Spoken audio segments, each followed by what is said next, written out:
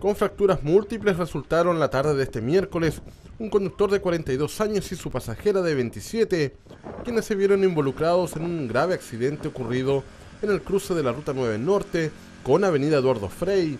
Personal de bomberos tuvo que utilizar herramientas hidráulicas para liberar al chofer atrapado, mientras que personal paramédico, el SAMU, inmovilizaba a la pasajera quien sufrió diversos cortes, además de una fractura en una de sus manos. El accidente se registró pasado las 15 horas cuando el móvil de la empresa de taxis Unimark ingresó al cruce, siendo impactado por un camión recolector de basura de la empresa Servitrans, vehículo mayor que ingresaba a la ciudad por la carretera. La pasajera fue derivada al centro médico, dado que presentaba además diversas heridas y una aparente fractura en una de sus manos, en tanto el chofer herido evidenciaba múltiples fracturas, siendo ingresado en estado grave al servicio de urgencias del hospital clínico.